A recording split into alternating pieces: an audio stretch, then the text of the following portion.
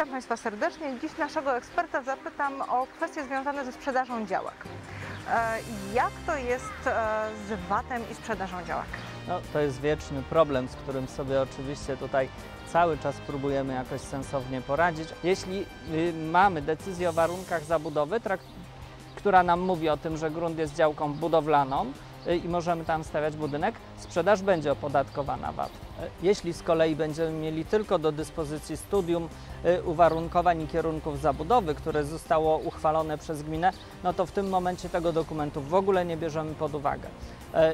Ponieważ on nam o niczym nie będzie mówił i wtedy odwołujemy się tak naprawdę, czy, czy według tej hierarchii, tak, plan zagospodarowania przestrzennego, decyzja o warunkach zabudowy, a jeśli tego nie mamy i tego drugiego dokumentu też, no to jeszcze ewidencja gruntów i budynków. Jeśli z, z każdego z tych dokumentów będzie nam wynikało e, coś innego, mamy problem.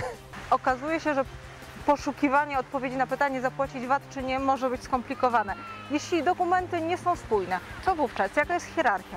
E, No, najpierw bierzemy oczywiście e, miejscowy plan zagospodarowania przestrzennego, z którego powinno wynikać, w jaki sposób grunt powinien być e, zabudowywany na danym terenie.